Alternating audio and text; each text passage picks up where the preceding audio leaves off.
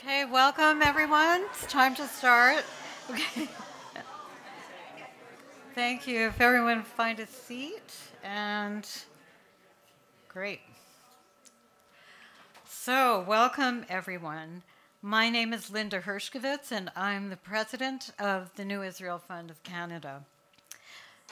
Before we begin, I would like to acknowledge that here in Toronto, we're on the traditional territory of many nations, including the Mississaugas of the Credit, the Anishinaabeg, the Chippewa, the Haudenosaunee, and Wendat peoples, and that this is now home to many diverse First Nations, Inuit, and Métis peoples. I also acknowledge that Toronto was covered by Treaty 13 with the Mississaugas of the Credit. Um, please come in. Those of you who are joining us from elsewhere in Canada and therefore sit in different Indigenous territory, I encourage you to take a moment to reflect and acknowledge this wherever you are.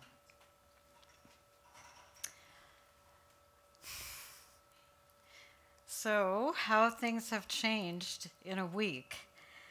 When we first invited you to this year's Shira Herzog Symposium, we originally planned to talk about the democratic crisis in Israel. Instead, the enormity of this week's shocking and terrifying days in Israel are now first and foremost in our minds. We felt that continuing with this gathering was still important, but that a different focus was needed. And so we gather today in order to comfort each other to grieve and to hear how our community in Israel is responding in this moment. Whether you're joining us online or here in this room, we are here for each other.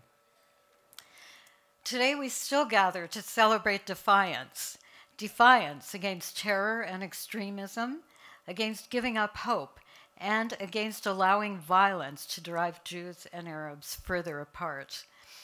On the ground right now, Israelis of all walks of life are still reeling, mourning, and scared. The cruelty of Hamas's heinous terrorism is still difficult to comprehend. The body count is rising. These are days of extraordinary heartbreak. On top of it all, we are worried sick about the 150 hostages held in the Gaza Strip. Among them are Israelis of all ages, soldiers and civilians, the elderly, young children, as well as Jewish and Bedouin citizens of Israel, Thai foreign workers, and citizens of the US, Germany, France, and Canada. Among them, among them all are believed, uh, sorry, among them all are believed to be two Canadians, Tiferet Lapidot and Vivian Silver. Vivian, in particular, is known to many of us in this room right now, excuse me, and online from Victoria to Halifax. She's a lifelong member of Israel's feminist and peace movements, including deep personal ties to the people and organizations of the New Israel Fund around the world. As Canadians and as believers in peace, Vivian's peril reaches many of us personally. To help us reflect, I'd now like to invite Aviva Chernik to the podium.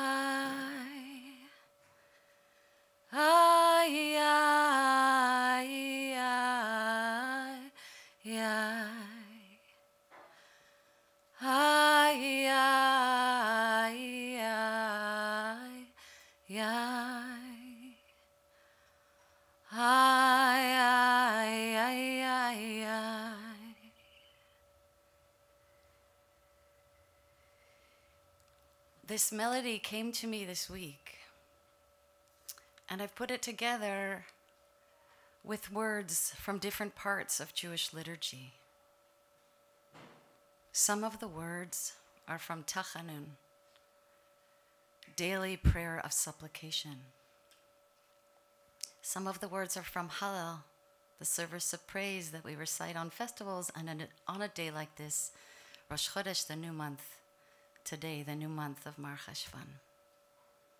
Traditionally, you don't actually recite these prayers on the same day, Tachanun and Hallel. But I feel like actually it's an important time to bring all of our prayers together. The words are Avinu Malkeinu, our parent, the awesome part of divinity, majestic. Here, uh, grant us grace and hear us. Shekhinatenu, our intimate one, the immanent divine. Save us of spirit and of body. Avinu Malkeinu Chaneinu Vaneinu Shekhinatenu Hoshiana. Avinu Malkeinu Shema Kolenu Shema Kolenu Shechinatenu Shechinatenu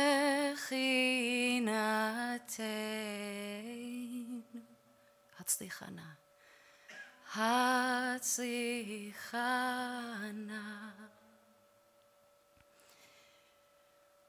This week, I had the honor of sitting in class with my teacher of James Jacobson Maisels as he taught with such grace and wisdom from his home on Hanaton with his three children and wife in the north part of Israel. Gathered were a hundred people from around the world to sit with James. And so, as a teacher of contemplative Jewish practice, I uh, want to name my teacher and uh, teach in his honor. And as James said, I don't feel any, I don't have to do any specific practice right now. I'm just looking for things that give me a sense of respite and an opportunity to lean on something bigger than me.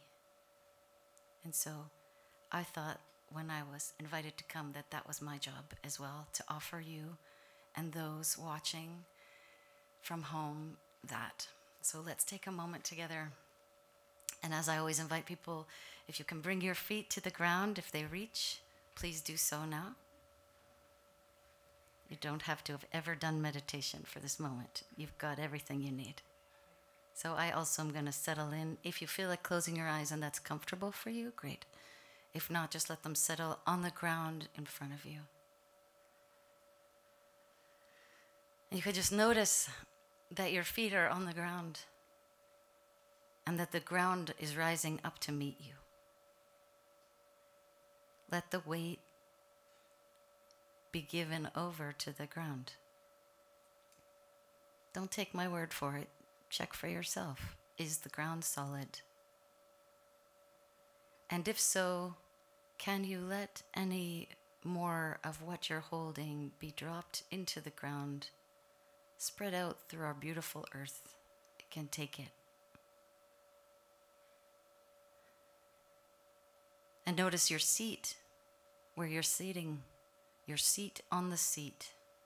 Can you let the weight of your pelvis and your spine and your head, your torso, your arms, can that drop through your seat into the seat, which drops to the floor and into the earth?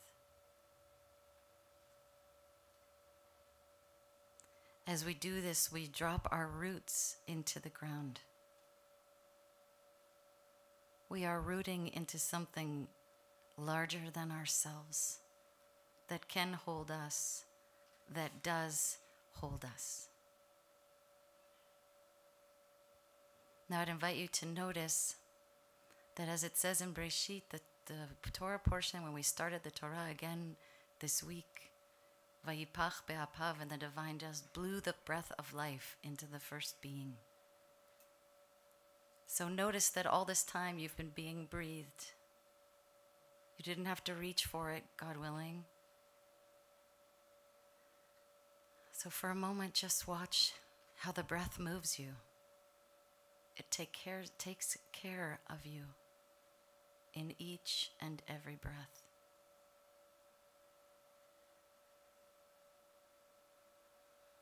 Can your shoulders soften? Can your jaw soften? Can the space between your eyebrows, the part that wants to figure everything out, can that for this moment just rest?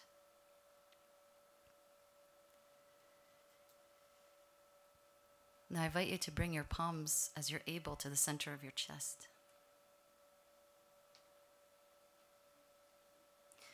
If you're holding your phone and doom scrolling, you're going to have to put it down. so, what are we doing with our palms at our chest? We're actually just feeling the weight of our own touch, of our own companionship. We are not alone. We are filled with and surrounded by Ahavat Olam, an ever present and infinite source of love, but we also have our own support here. So notice the rising and falling of your chest underneath your palms, the weight, the warmth perhaps of your hands. Breathing a deep breath in. Shoulders shrug, and as you exhale, let's do that again. Breathing in together. And letting the shoulders drop.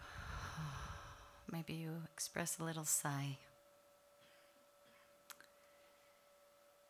Letting your hands go, drop down to your legs once again. And letting your eyes drop open.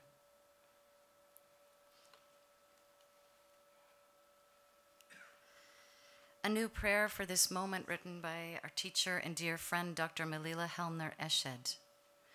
El Elohei Haruchot Lechol Basar. God of the Spirit of all flesh, here we are before you, broken spirits torn by grief. Chamonna Aleinu, have mercy on us. Mortals created in your image, watch over us in a time of destruction and tragedy, terror, death, and panic. Please, please, Anna, may our compassion be revealed. I think I'll repeat that part. May our compassion be revealed. May the love within us overwhelm the harsh judgment, vengeance, and evil that is bruised within us. Behold, fierce, burning pain cries out, seeking revenge, not comfort. Watch over us, Shekhinah, our strength, over our scorched spirits, our terrified souls over our completely infuriated flesh. May the divine image rise, shining like the dawn from our crushed hearts. May we have faith that we will merit to witness the goodness of the Holy One, the goodness of humankind in the land of the living. And together we say, Amen. Avinu Malkeinu Chanenu Vanenu Chanenu Vanenu Shechinatenu. Shechinatenu Hoshiana Hoshiana Avinu Malkeinu Avinu Malkeinu Shema Kolenu Shema Kolenu Shechinatenu Shechinatein Hatzlichana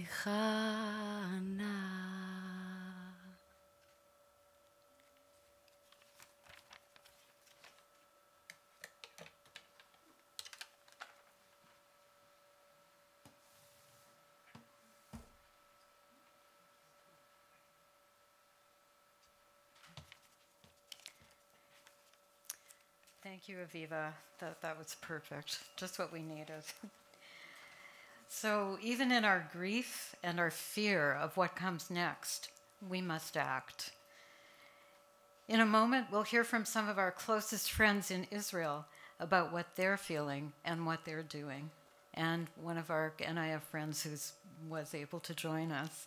Uh, last week, Israeli civil society leaders, activists, and NGOs from all walks of Israeli life were defending their rights and equality from the judicial overhaul. It seems like years ago. this week, these Israelis are now supporting the most vulnerable populations in the South and working hard to prevent another outbreak of Jewish Arab violence like we saw inside Israel in May of 2021. In the coming weeks, these same incredible Israelis will begin piecing Israeli society back together and working to end this seemingly endless cycle of violence. This is the purpose of the New Israel Fund to support them. We know that in times of crisis, issues of inequality within Israel do not simply go away and are in fact compounded. Our work continues even as we mourn and process these terrible events. That's why NIF launched our emergency safety net efforts that you'll hear about. Um, allow me now to share this personal message to us from NIF's international CEO, Daniel Sokatch, to explain how NIF is responding on the ground in this moment. Hello, my friends. It's good to be with you at NIF Canada during these incredibly dark and difficult times. For me, and I'm sure for many of you, uh, the New Israel Fund and our grantees and Shatil and the work that we're doing on the ground to try to repair what has been shattered, maintain bridges between Israel's diverse communities, and attend to the needs, the critical needs of those suffering on the front lines of the catastrophic terror attacks uh, that Israel has experienced this past week. Uh, NIF has been a real light for me. Uh, and I want you to know that you all, the supporters and community of NIF around the world, uh, have been a real light to your brothers and sisters on the ground in Israel. They have told me this every day that it sustains them to know that the international New Israel Fund community is right with them, shoulder to shoulder. I know how terribly painful this period of time is for all of us. Uh, and for you and NIF Canada, it has a particular kind of pain because of our beloved Vivian Silver, uh, one of the great peace activists and just wonderful people who I've come to know over my 15 years at the New Israel Fund, uh, who, of course, is missing and assumed held captive in Gaza. We pray for her and her safe return and for the safe return and health of all of those who are held hostage uh, in Gaza right now, as well as for the healing and repair of all that has been shattered in Israel uh, with the communities that we serve and, and with all Israelis. I want to take a moment to tell you uh, what it is that NIF is doing now on the ground to respond to this catastrophic emergency. First of all, we are caring for the most vulnerable and those most affected by this nightmare. We're providing necessary shelter, food, and clothing to folks who have had to evacuate their kibbutzim near Gaza, and we are providing aid, both medical uh, and also uh, in terms of shelter for Bedouin communities in the unrecognized villages near Gaza who have also suffered horribly over the past week. We are also working to prevent flare ups of intercommunal violence. We all remember the horrible days of May 2021 when fighting broke out after a round of, of, of uh, battle of warfare between Gaza, uh, between Hamas and the IDF. Uh, fighting spilled over into the mixed cities and neighborhoods in Israeli towns uh, across the country, and we are working hard with our partners in civil society and with those municipalities to build the kinds of systems that can prevent that kind of violence from reoccurring. We're also working with grantees like Fake Reporter to identify and deplatform the terrible spike in hate speech uh, that has occurred on social media over the past week, where extremists call for uh, people to take up arms against Arab citizens of Israel. And we are working hard to make sure that those kinds of sentiments are identified and removed when we can remove them from social media and from the internet. We are providing trauma counseling to civil society activists and to folks who are on the front line.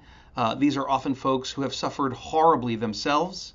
Uh, they have been besieged. They have lost loved ones. Uh, they have loved ones who are missing. And they themselves are doing the work that I just described above in responding, and they need help and support. And we're providing uh, counseling for them. And finally, uh, at this terrible time, we know that, uh, that those who believe that uh, violence is the answer will always use these opportunities to try to provoke and incite and cause all kinds of trouble uh, in Israel and on the West Bank.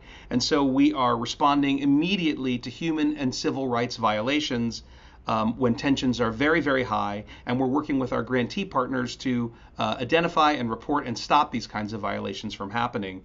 Uh, and of course, there, uh, the Association for Civil Rights in Israel, our flagship grantee, and our friends at Adalah are running hotlines so that communities can report these kinds of outrages when they occur. At a time like this, I am sure you feel as I do a sense of real uh, uh, despair and, and helplessness and hopelessness.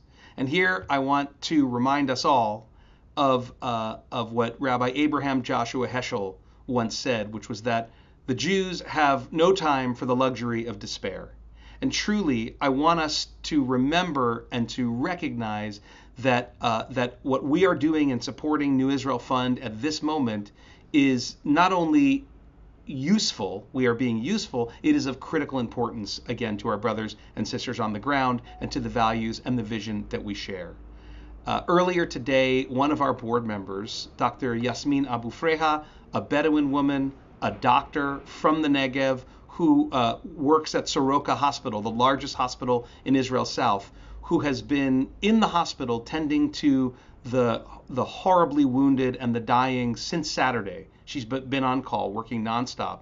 Today, she described her experience at a webinar for the NIF community.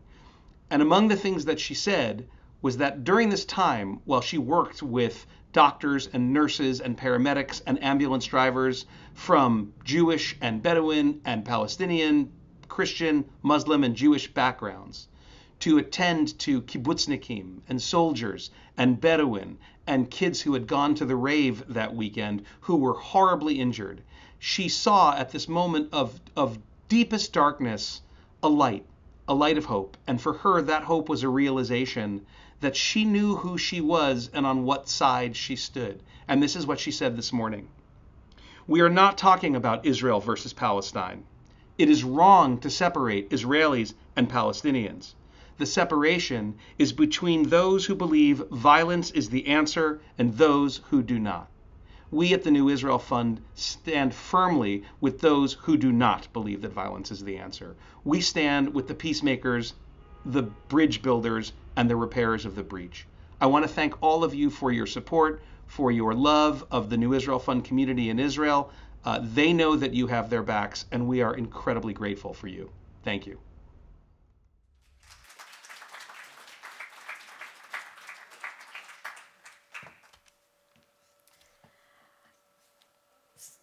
I am humbled by the extraordinary generosity by so many of you in the past week. We've raised nearly $100,000 here in Canada in just days for emergency projects on the ground, just as, as Daniel just described. There's still a great deal we don't understand about what has happened and what will happen next. what progressive civil society leaders are feeling right now, what is happening on the ground, and more profoundly, what is the significance of this moment? What glimmers of hope can we possibly find over the past dark week and in the days to come? To moderate our panel, allow me to welcome our friend and respected journalist, Andrew Cohen, in order to introduce and guide our discussion. Um, brief introduction Andrew Cohen is a best selling writer, an award winning journalist, and a professor of journalism, whom the New York Times called one of Canada's most distinguished authors.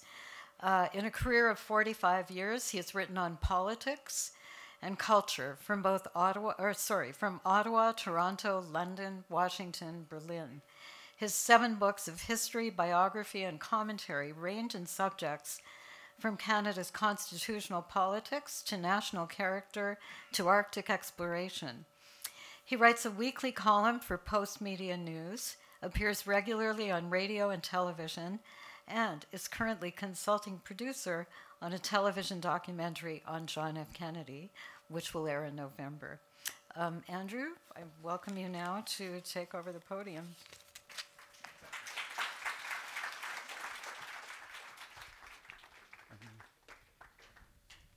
Thank you.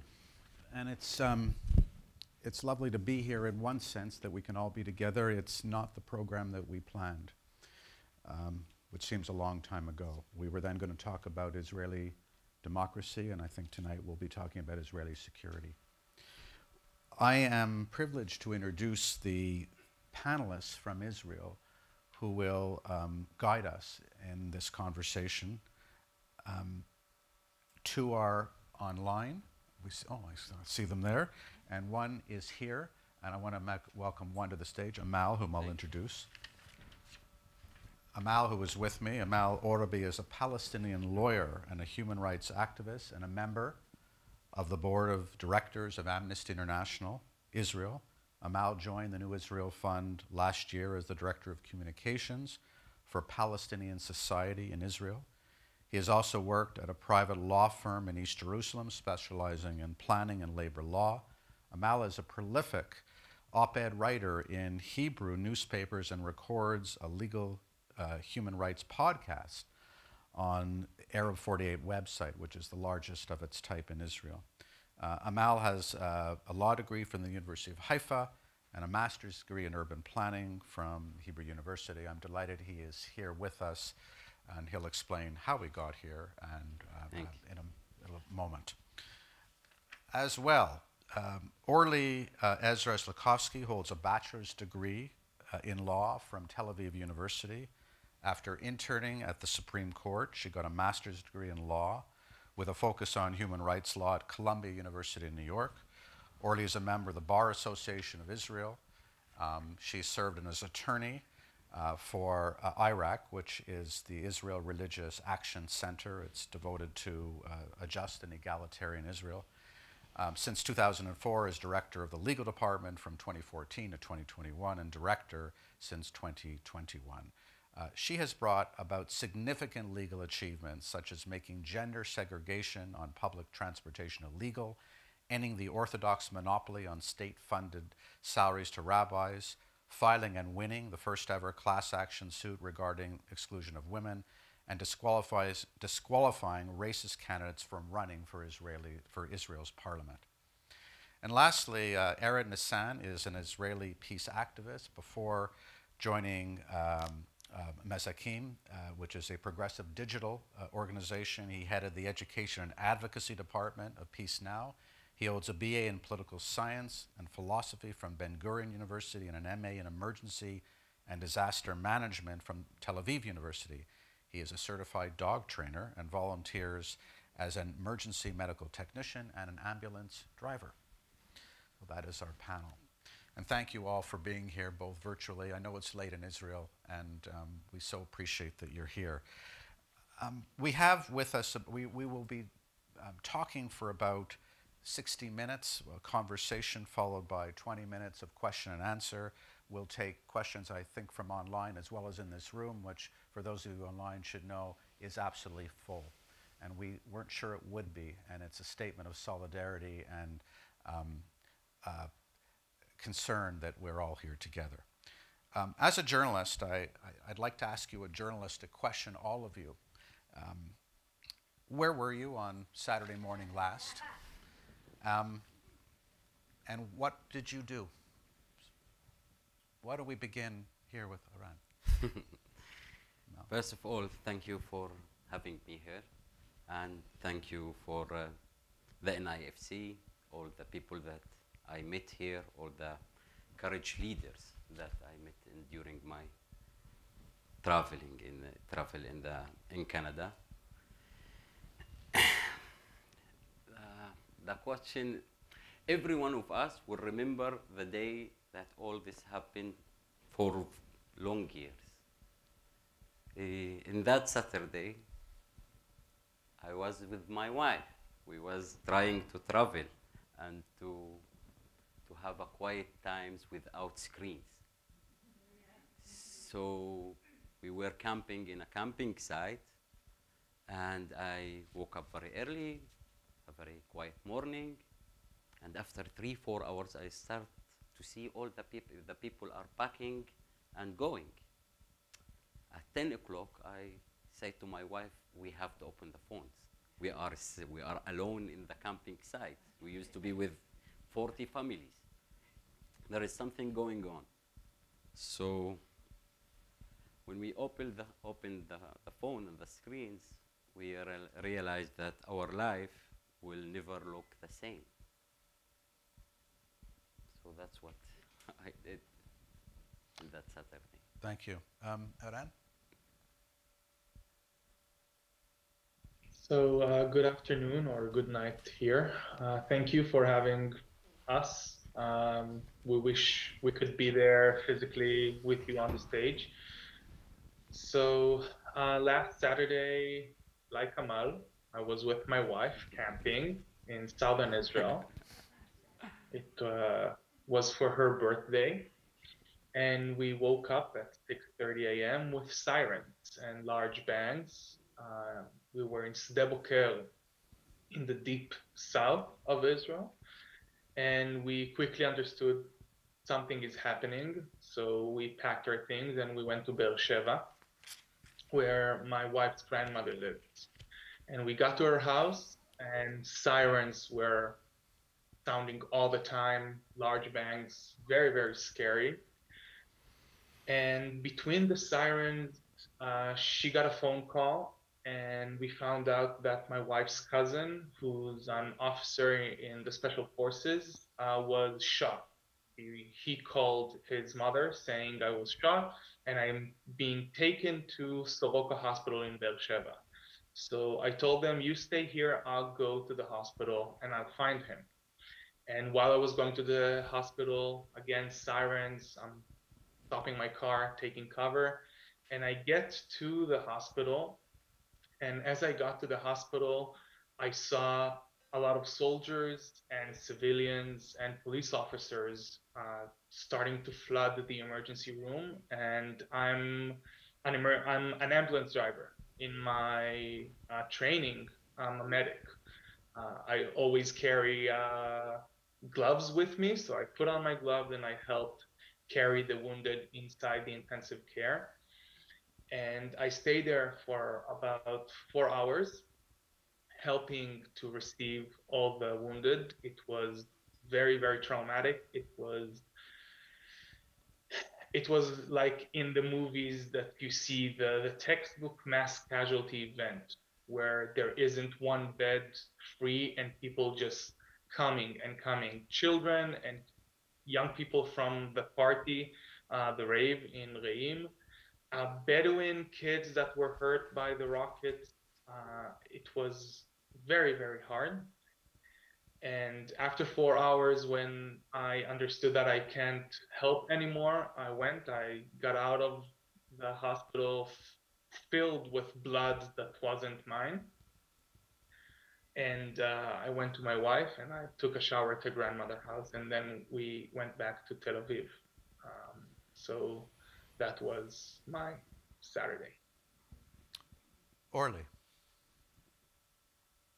Hi everyone. Um, I want to start actually the day before. I was also on vacation, um, not in the north or the south. I was sort of in central Israel in a, a hotel called Shfaim, not far from Herzliya. I spent there a few days with my family, my my parents, my my sisters, uh, my kids, and my husband. And the day before Friday night, we held um, on the grass in, in Shfaim um, a dinner for uh, the end of Sukkot for Simchat Torah. And we were 20 people, and each one of us said, Let's say what we are inviting to our homes, to our Sukkot this coming year. And we had this beautiful, you know, everybody everybody said, you know, we want happiness and we want health. Um, and one of my relatives is a journalist, so she said, I want just boring news, not really, you know, outstanding news. Um, and it was very beautiful. And then we went to sleep. Um, and I woke up. Uh, someone knocked on my door at 8:30. Actually, my son. Um, I said, "No, no, I want to sleep." Um, and and I woke up, and then we heard the news, and two of my my nephews were uh, drafted uh, to the army, um, and we understood that uh, something um, terrible had happened. We um, we didn't have a siren, so Shfaim and, and in general the Sharon area was one of the areas that did not have sirens that day. So we we sort of debated whether we should go home. I live near Jerusalem. At the end, we decided we should go home, um, and then I spent basically the whole afternoon waiting to donate blood alongside many, many, many other Israelis. So uh, after four and a half hours, I finally got um, uh, to give blood. I was actually supposed to fly to the States that same night, Saturday night. I was supposed to spend a week in New York and then to come for a week uh, uh, to Toronto. Um, it was clear quite quickly that the flight is not going to be, um, you know, I'm not going to fly because the flight is going to be canceled. Um, I was looking forward to actually coming to Canada because I was born in Canada um, and I haven't been for many, many years in Canada since 1986. So I was looking forward to it, but unfortunately, um, uh, we, we couldn't make it this time. Um, that that's my story of that day. Um, I think it took a while until the events unfolded and we really uh, started to realize the magnitude and the scope and the horrific and horrendous events that um, happened uh, that day. It was we didn't understand it that same day. I mean, it was uh, it took us a while until we figured what actually happened.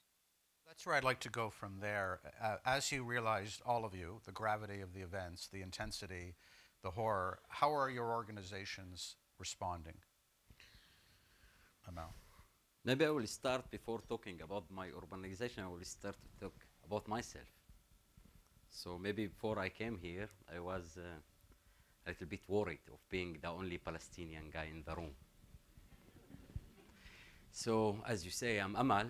Amal is hope, and it's the most optimistic thing that you will hear from me tonight. So, but now I believe that each one of you that decided to be here in these difficult circumstances is a exceptional, shows us exceptional leadership and courage. I stand here with you with a lot of fear. A fear that our lives wouldn't be the same. Fear for the safety of my family, my wife, my friends in Gaza, in Tel Aviv, in Haifa, in Jerusalem, and also in the Negev. It was hard times, but I insisted to come here as a representative of NIF Israel. I insisted to come here for two reasons. The first of all is that in Israel today there is no room for voices that seek to see the reality with open eyes, to acknowledge the occupation, and to refuse making the same mistake and expecting other results. These days, maybe it's not it's better to not to understand Hebrew because all you will hear is a discourse of hate, revenge, and war. I came here in order to find a better uh, a place, maybe to find a place for another discourse, for another conversation, for a difficult language, even. Have the you second, stopped, have you stopped reading uh, the Hebrew media in Israel? I stopped a year uh, since last year. Last year, before this government was elected, I used to be a to take a part in a TV show, in a television show, in the public uh, broadcasting, broadcasting in Hebrew. But when the Ministry of Communication took office, the first thing he did to eliminate all Palestinian voices. So today, the same minister proposed a bill that only can be described as a fascist. Any man or anyone would talk or maybe propose another discourse would be in a jail. While I'm sitting with you here, two of my friends, one of them have a PhD in public in, in, in political science, is in jail because he wrote an article about what's happening now. Because he shows empathy for the people in Gaza. Because he says that uh, we don't accept any kind of collective punishment. So he's in jail. So only you can imagine, imagine what will happen when I go home. And that's my biggest fear.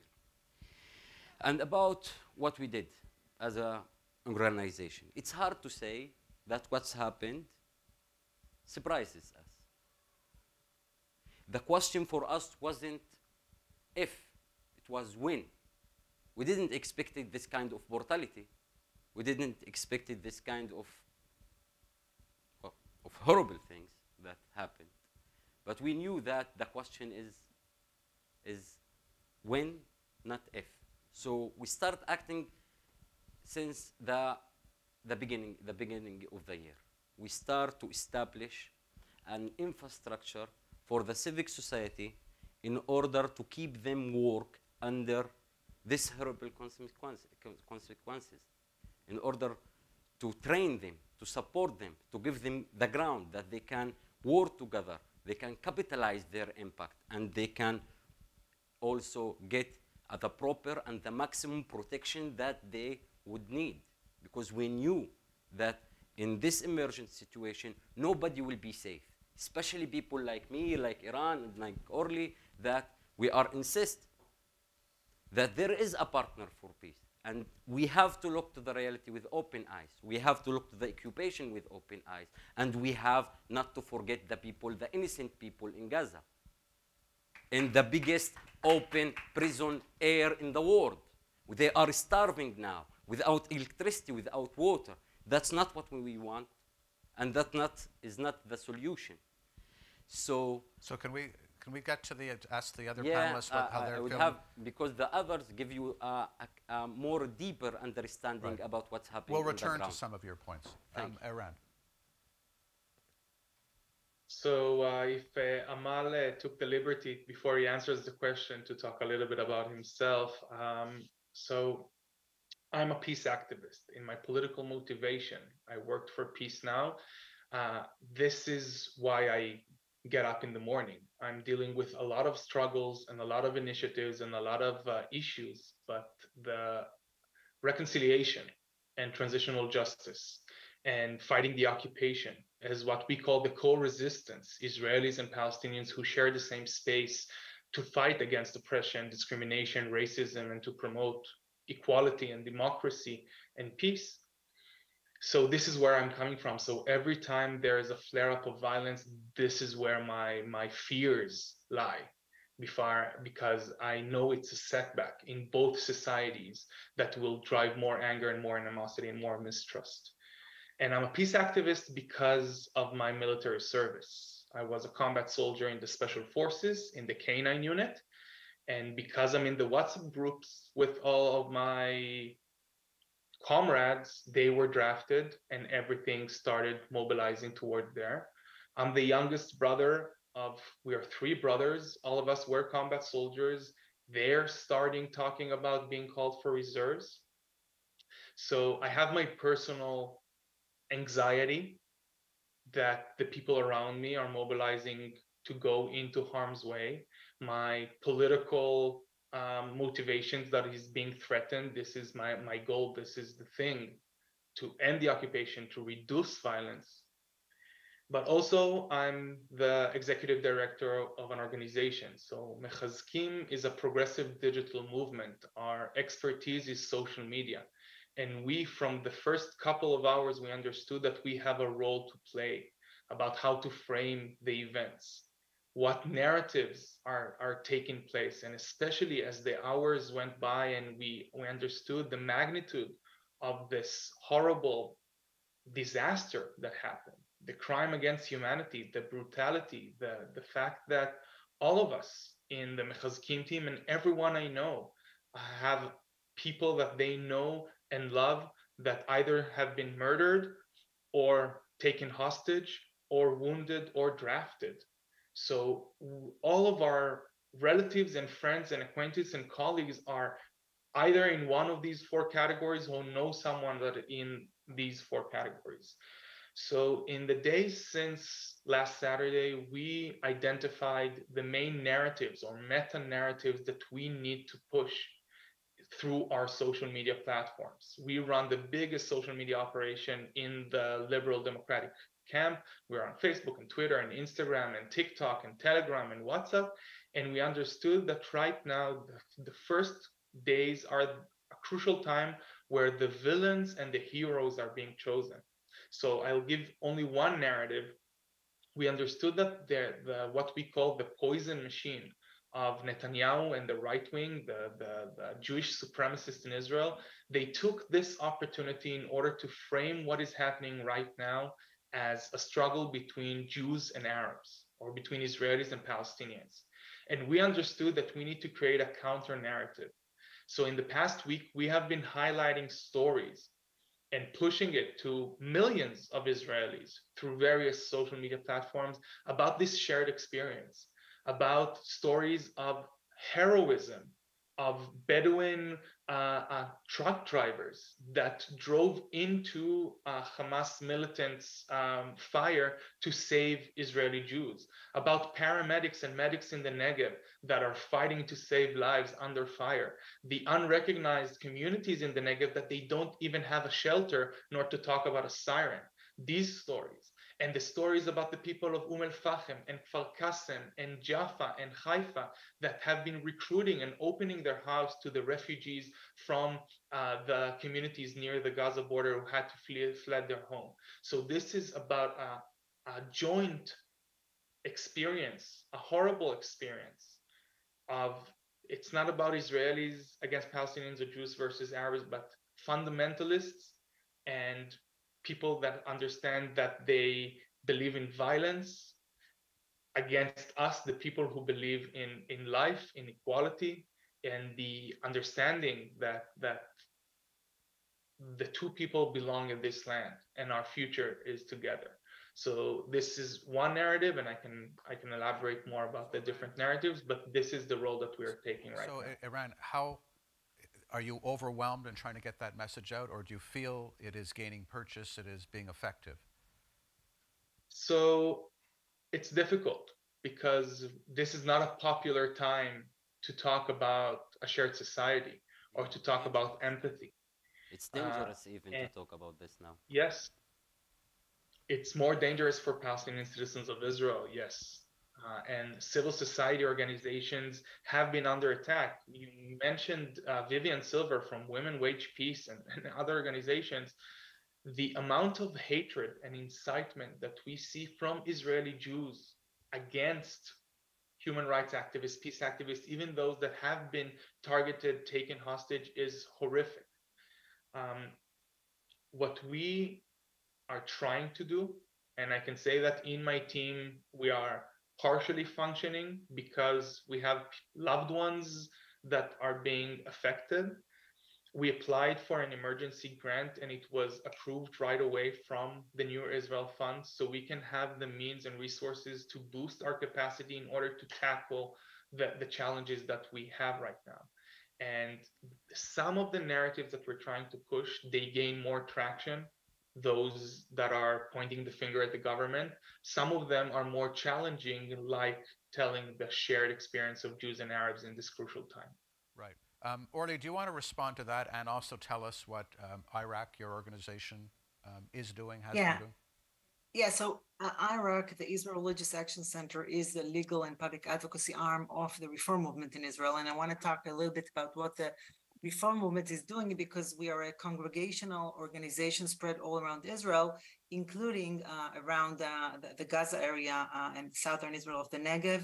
Uh, we have a congregation in Sha'ar Negev, which was very, very uh, severely uh, hit. And what we did in the last week is, first of all, helping the people who were evacuated there and all the others who were evacuated from the south uh, through our humanitarian relief fund. We have a relief fund called Keren Bechavod, and uh, we have offered assistance to families uh, who are located in Elat and in the Dead Sea and in Jerusalem area and in many other places, including Shfaim, the place uh, I, I uh, mentioned before, uh, assisting them with uh, food um, and uh, clothing and toys um, all over the place, helping children at risk um, go from you know um, places like like Ashkelon or Ashdod in the south to safer places, helping um, uh, populations like the um, uh, Bedouins in the unrecognized villages, also with uh, um, anything, any products, any supplies that could help them. Uh, we've also had a lot of work with uh, pastoral care, um, basically offering our rabbis to assist people who are in extreme distress um, naturally. Um, so we have a lot of our rabbis um, mostly the rabbi who is the congregational rabbi in Sha'ar Negev, but other rabbis as well, uh, going around uh, visiting families, um, the grieving families and, and wounded families and many, many others. I can just give you an example that today uh, the rabbi of uh, Sha'ar Negev uh, attended seven funerals. So you can just imagine the magnitude uh, and the scope. Um, and it's, it's really just the beginning. Uh, this past Shabbat, we had Shabbat services for people who were evacuated and displaced and those were very moving. I just saw a, a piece of where two of our rabbis saying, "We shall overcome." Uh, in front of dozens of, of people who were evacuated from the south. So very moving and, and I think important. Um, uh, and we are also very busy in uh, helping the helpers, uh, helping our rabbis, because it's again, because of the magnitude and the scope of those uh, uh, atrocities, this is something that is, is really unprecedented. So really helping them and giving them the tools to treat treat others. And we are also very um, uh, conscious about thinking about our staff, um, how they are uh, coping with uh, with this, talking about the experience. We've had webinars um, to our congregants in Israel and also to many uh, Reform Jews outside of Israel um, offering them our uh, take on the issue and um, talking to them a little bit about that. Um, specifically about the about IRAC, we are now very concerned, uh, as mentioned before, by the rising racism um, and violence. We've been fighting racism for many, many years. We've also cooperated with Eran in Mehazkim, um, and we've done a lot of issues in fighting racism. And in this uh, circumstances, unfortunately, we already see a rise in violence um, toward uh, toward Arabs or Palestinians, um, mostly in East Jerusalem, and of course in the territories. So this is something we have been uh, focusing on. So in the last uh, few days. Um, the issue uh, was mentioned the issue of the uh, lack of shelters of the Bedouins in the unrecognized villages. We are uh, writing actually the, the, today um, demanding shelters for the Bedouin villages. Um, and we've also we've done a lot of monitoring on the budget for the past few months. Um, and now again, because there is a need, um, a large need of um, transferring budgets to the people in need, uh, we are also monitoring the fact to make sure that they're taking from maybe other um, goals which are not as necessary. The coalition uh, uh, money, which has been um, targeted to uh, a lot of um, goals such as ultra-Orthodox schools, which do not teach the core curriculum. Um, so it's really demanding to de- uh, reprioritize uh, the budget. So that's another thing. And another goal is uh, making sure that different emergency services would uh, operate on Shabbat. We saw during the last weekend that there was a, a big uh, fuss at the end. El Al did fly uh, Israelis and um, a lot of supplies uh, in Israel during Shabbat, but there were a lot of uh, other um, discussions and debates about these issues. So we have to make sure that uh, the next Shabbat this is going to uh, to happen because, of course, it's an emergency uh, like never never before. so that's, I think. most of the things. Is, is we've heard from Eran about the reaction to what he's been doing. Are, what is the reaction to the kind of work you're doing? Um, has it been appreciated or is there hostility because of how you see things? I, think that in most cases it has been welcomed uh, by the people that we we offered to him. I, I can tell you that I went today to a uh, sort of a vigil uh, calling to, for the release of the hostages.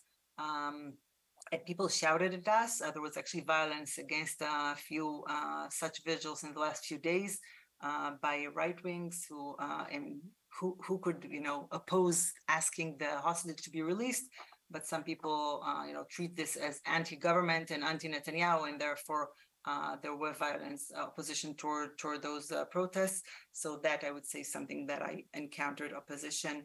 I think the other um, we'll probably talk about it later. I think a lot of Israelis um, um, went and uh, wanted to assist and help as much as possible to the people evacuated.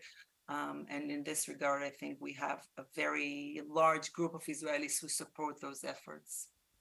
Amal, did you want to respond to those? I would happy to say that I agree with Eran that uh, some people, some groups, that they are already trying to exploit the situation and to take advantage on the people suffering and uh, take advantage on the people that were killing in the innocent people in, all, in, in both sides.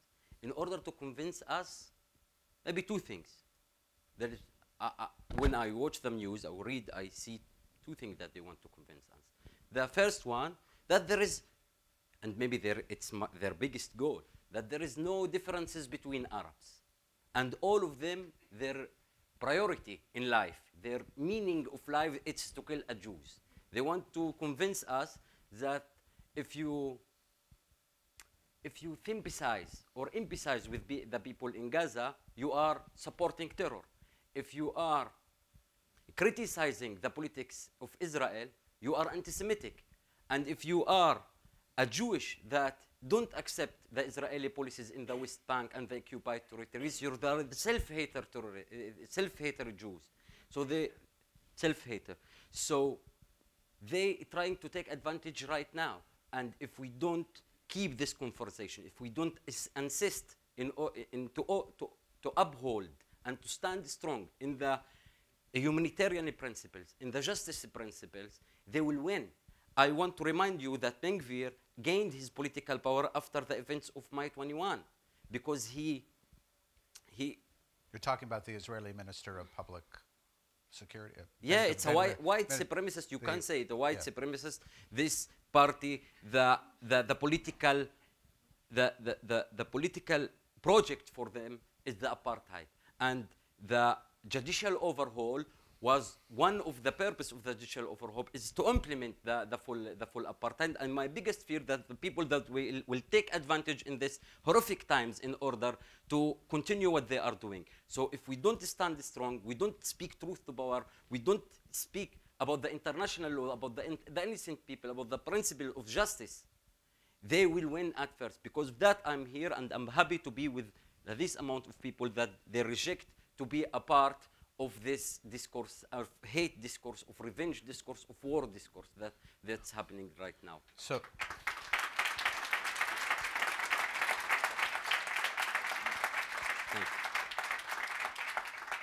So we, we've been talking about what happened directly after uh, uh, Saturday, and we're now eight days away from what happened. Israel is still counting and burying dead. You already referred to seven funerals. Um, there will be more, presumably. And at this moment, at, at, at, this hour, uh, uh, Israel is massing troops on the on, in the south. There, there is every expectation that uh, the IDF will enter uh, uh, um, Gaza. And only we can think what will happen. So, where does this leave? We are we will be pivoting, I think, to a new stage.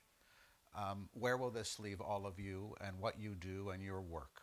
Uh, let's begin with Eran. So, first of all, we need to remember that the policies of Netanyahu in the past 15 years, almost consecutive uh, reign or regime, was to separate the Palestinian Authority in the West Bank and Hamas in Gaza, and to strengthen Hamas and to undermine the moderate leadership uh, that is the legitimate uh, uh, leadership that is calling for diplomatic, nonviolent, uh, peaceful negotiations. We have seen there's a quote by Netanyahu from 2019 saying, maintaining the separation between Hamas in Gaza and the Palestinian Authority in the West Bank is what helps us to prevent the establishment of a Palestinian state. There's a quote from Bezalel Smotrich, another Jewish supremacist, now the Secretary of Treasury, saying Hamas is an asset and the Palestinian Authority is a liability from 2015. The policies of managing the conflict or shrinking the conflict has crushed or broke on, on the rocks of reality. What we are looking right now is mass mobilization of military forces into Gaza. There's going to be a ground invasion. There's going to be a deteriorating um, uh, violation of humanitarian law and international law. We already have seen the Israeli government cuts off water, electricity, uh, gasoline to Gaza trying to pressure the 2 million Gazans, Palestinians that live there. Uh, we already tried this.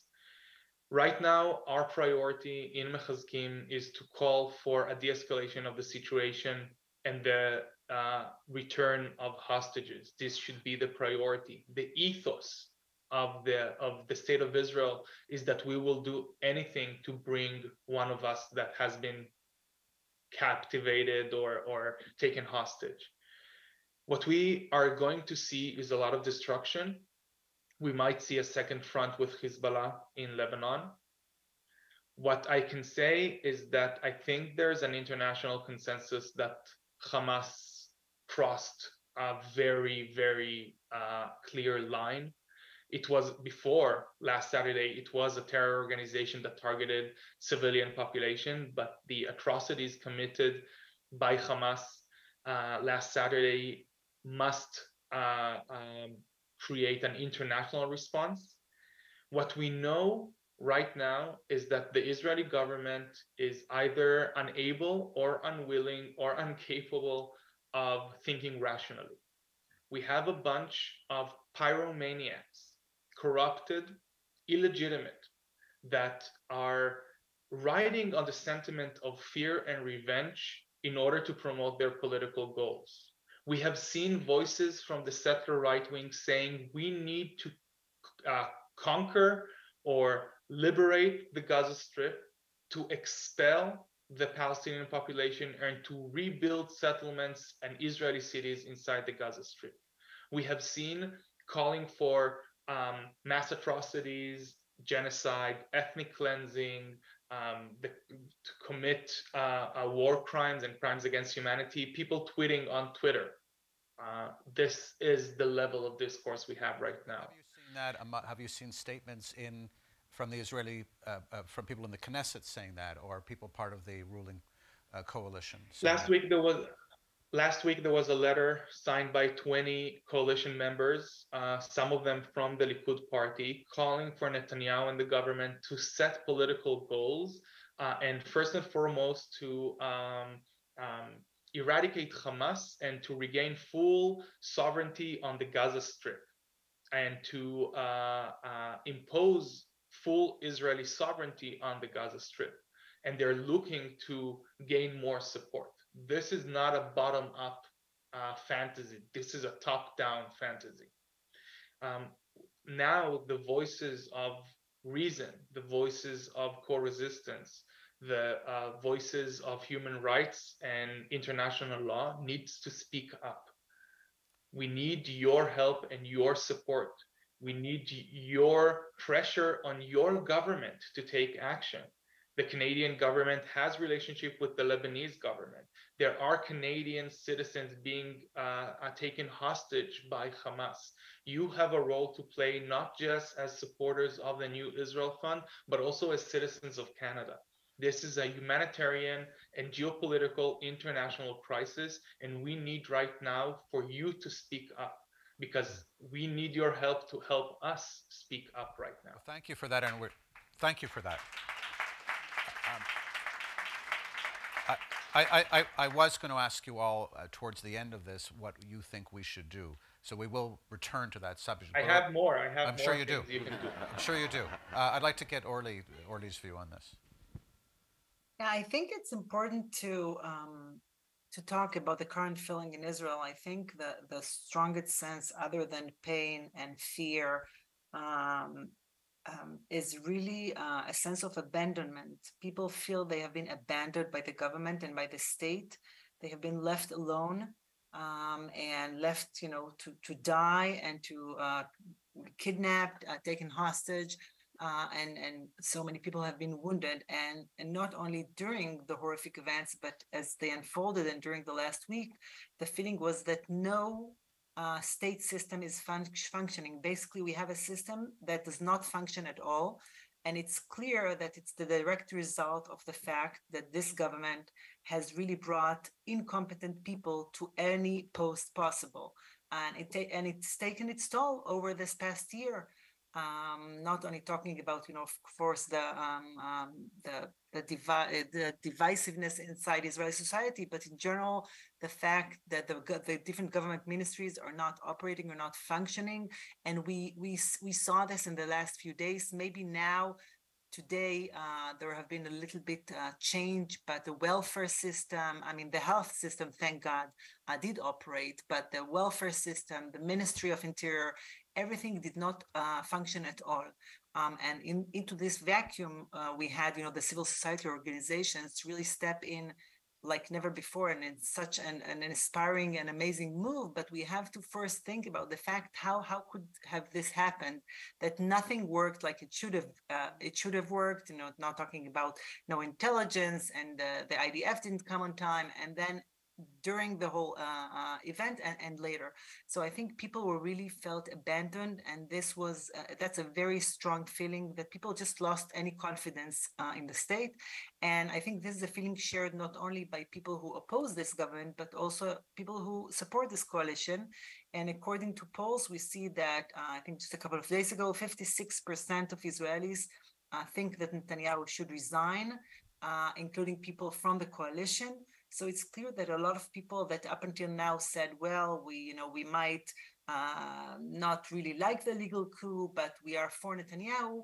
Now maybe there is this shift. And in this sense, it could be a seismic shift that could uh, affect dramatically uh, Israel's politics um, uh, for years to come. It remains to be seen, but I think that's a very very strong sense. Of course, the other sense is a sense of fear um, about what's going to uh, evolve now with the war in Gaza, uh, a possible war uh, up north.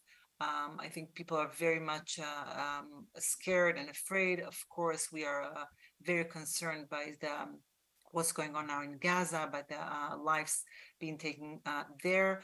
Um, and as I said, the fear that again it might uh, the rise of racism and we might uh, have another um, cycle of the events that have been um, that occurred in 2021 and this is of course something that we are very much uh, concerned about and uh, should should work uh, to prevent uh, the fact that now we have um, um in the coalition and Eisenkot is is good news. Um, according to the coalition new coalition agreement for the emergency government, there is a committee uh, which is in charge of the police and is in charge on what's happening in mixed cities. So that means that Ben Gvir, uh, who is a very, very dangerous person who could not be accounted uh, at all, uh, is not uh, responsible for that um, for now. So he has someone above him uh, in charge, and that's good news. So in this sense, we are in a better situation, at least in this respect, since 2021, um, since not 2021, since that situation that was here just until a couple of weeks ago.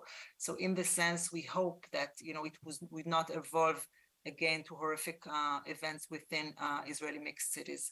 Um, Orly, you mentioned the National Unity um, uh, um, government. Does that give Netanyahu cover? I mean, we've heard reports of his unpopularity, the unpopularity of the regime.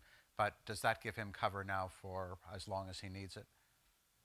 Before well, the course, inquiry, that, before that, there's an inquiry and we hear what really right. happened. So, so, so that's the risk, uh, but I think uh, the risk was too high uh, in order for you know to prevent uh, to more responsible uh, politicians to enter into the government. Uh, so I think that was that is something that is better now than before. I think the government that was uh, in power for the last 10 months was, uh, um, you know, needless to say, the, the, the most horrible and dangerous government Israel has ever had. Um, and we see now the results of what gov- this government has been doing for all this months. You know, I think the protest movements for many, many months kept saying this is dangerous to Israel, and we're going to see these implications. And unfortunately, we saw it, you know, I think quicker than we when than all of us thought. So it's a direct result of this government. So in this sense, I think, I think it's a good thing that you enter it in, into the government. Um, I don't think Netanyahu is going to get off the hook so quickly. Uh, I think the price is so high and the trauma is so deep that he's uh, going to pay the price, and uh, you know maybe uh, we would be able to have this political change that we should have uh, had uh, years ago. So I'll, I'll, before we get to that, No, I, uh, let me be okay. less optimistic about the, the new government. Because this is not an emergency government, it's a war government. Benny Gantz and these people joined this government not to order to offer us alternative, not to over, in order to give us another path. They came to this government because they do, they want to do what they know to do, war. There are two generals, three generals, and generals can't offer us any solution. And I want to connect to Eran's, uh, what Eran says. Netanyahu's and the right government, and even their partner, new partner now, they try to convince us over the two decades now, from, from the second intifada, they try to convince us in two things, that there is no partner for peace, and it's not, we, we, yani it's not worth it to, to invest any uh, effort in this because it's don't, it won't be any, uh, any peace or any partner. The second thing that they, we can manage the conflict. We can manage the conflict, without paying any price. We can keep six million people under occupation without rights and not to pay any price. And we can continue to do, yani, we can continue to do agreements with other authoritarian eh, Arabian countries in the, in the Middle East that they don't care about the Palestinians. So we are now innocent people paying the, the price of this prescription, of this assumption. I'm proud to be, uh, proud to be part of the NIF that we never accept this, this assumption. We always worked for building a partnership, for uh, offering another uh, an alternative. So now innocent people are paying the price, and if we not start will would not start talking about an alternative, I don't trust this guy in the, guys in the in the government. I don't trust this emergency government. It's a war government. So practically speaking, the uh, that uh, generals, the some of the progressive forces have joined this government will not. Mod- what you're saying is it will not moderate policy. That it will. Uh, that if Israel is prepared to go into Gaza, the national unity government will give it cover to do that. Is what you're saying, and I don't know if you know if what- Orly and Eran You, uh, you- agree. you know what will de-escalate the situation? The strong civic society. We are seeing now that whereas the both Arab and Jewish, both Palestinian and Israeli leadership were failed, the civic society is succeeded, succeeding in maintaining a people resilience and keeping the, the order and keeping the mixed city not to be escalated like we say we don't see another escalation inside Israel and inside the mixed cities, not because Gantz joined the government, because those brave guys and other hundreds of guys, of strong leaders, are working now in the ground uh, in order to keep the resilience of the people, to support them emotionally, and uh, and give them the proper uh, uh, the proper th- give them their needs. So we should support those people, so the, support the civic society, the human rights organization, the human rights defenders, and not now to start to clap hands for the new, Right, the new okay. government. Um, could you could Orly and um, Eran speak to that point directly? So Gantz and Eisenkot did not join the coalition to moderate it. It's not going to be a more moderate uh, government. They, as I see it, they see their their role as how to um, manage this war in a um, rational and responsible way. But there's a flaw in this uh, plan or this uh, rationale because right now the government has only set military goals to the war. And you can't go on on a military uh, adventure that for sure will cause unimaginable destruction of Gaza innumerable deaths of Palestinians and Israelis without thinking about the day after. And unfortunately, Gantz and Eisenkot, neither of them are thinking about the day after, saying we need international forces, we need the return of the, the Palestinian Authority to the Gaza Strip. Any try to isolate and undermine Hamas in an international way with legal action, with economic sanctions, no strategic um, reasonable long-term strategy has been presented to the Israeli public. They're not taking questions from the media. And as Amal said, the only beacon of hope right now is civil society. And you can't uh, disconnect the judicial overhaul in the past year from what's happening right now. Because the same people and organizations that for the past 10 months have been called traitors and anarchists and um, anti-patriotic and cowards now are the people that are leading the attempts to hold Israel together and hold Israel intact. The same people that were seen as enemies of the state are now on the front line defending Israel not just militaristically, but also in the mixed cities, keeping the peace, keeping the order, standing in solidarity where everything else collapsed because of the the the, the bullies and and and underqualified people we have leading this country right now. Orly? Yeah, I, I yeah, I, I, completely agree that uh, having Gantz and Eisenkot in the government does not make it um, um, a perfect government. It's very, very, very far from it but I still think it's less uh, problematic or less um, ex- less extremist than a government which is ruled by uh, uh, Ben Gvir and Smotrich and Netanyahu. Um, I think we should be fair um, and talk about we are now in a deadlock and the deadlock is uh, of course going uh, into a war is a very problematic uh, issue that will have a very high toll. And it's i completely agree with uh, with Eran and, and amal that we the government does not present any long-term vision to solve the conflict and just try to manage it. That's completely true. On the other hand we have to understand that now uh, if uh, there would not be um, a drastic measure toward Hamas, uh, Israelis would not go back to live um, in the uh, Gaza envelope in the in the south. There would not be anybody, and people kept saying it. People who were uh, who were you know under the terror uh, last Shabbat kept saying we are not going to be able to go and sleep there with our kids under the circumstances. So it cannot be the same as was you know you know a couple of years ago um, in, um, 2014 and, and before. So it's clear that something else needs to be done in order to eradicate Hamas. Um, of course, the, the, the price is, is terrible, um, and we, we you know, I think nobody presents the Israeli public uh, with a you know an alternative or a solution or explaining this is one measure and then we have to think of a long term it's like a step in the long you know vision that we offer israeli public this has not been done at all and this is of course um, very very problematic so we, we brought you, if, uh, flowing from what you've just said, we brought you here to talk about democracy originally. And we were going to talk with a lot of moral clarity, I thought, about the overhaul of the Supreme Court. Is that effectively, that discussion effectively dead now, for, for at least for the foreseeable future? Let me say well, something about that. Because this thing gave me hope, a little bit of hope.